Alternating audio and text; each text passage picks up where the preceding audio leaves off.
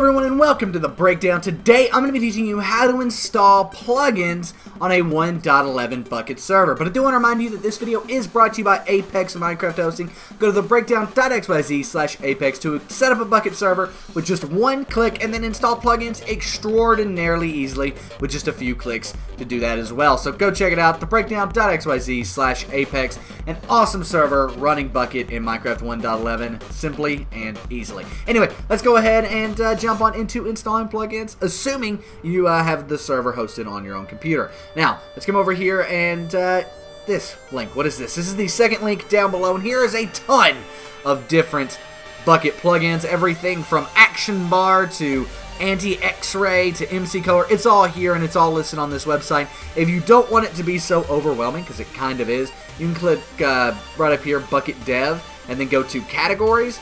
That's a little less overwhelming and easier to manage, but this will be linked down below where you can see every single Bukkit plugin basically ever made. So uh, go check that out. That's the second link down below. But today we're actually going to be installing this on our server, which is uh, World Edit. World Edit is probably one of the most popular Bukkit plugins out there, and uh, that'll be the third link down below to get the direct link to World Edit. Once you're on this page, let's scroll down, and then on the right-hand side, we'll eventually see recent files, and we can see World Edit 615 for MC 1.11. Click on that. It will then take us to here, where we can then click download right here. Boom, we want to keep the file, and there it is, downloaded. Now, installing the plugin's pretty easy. You just want to go ahead and open up your Bukkit server, see the plugins folder here, open that up, and drag World Edit into that plugins folder. From there, you want to run your server by double-clicking on run.bat or whatever your run file is set up as.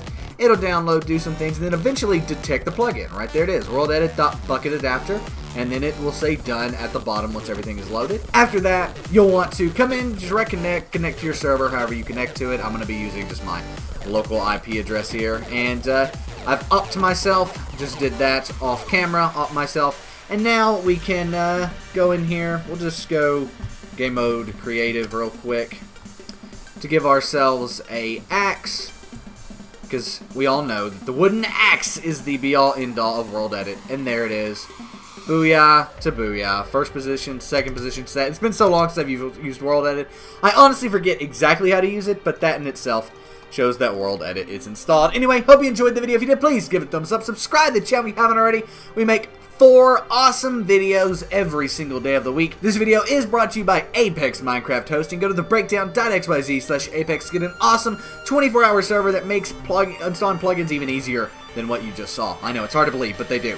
Anyway, go check it out, thebreakdown.xyz slash apex, first link down below. This has been The Breakdown. Hope you enjoyed the video. I am out, guys. Peace.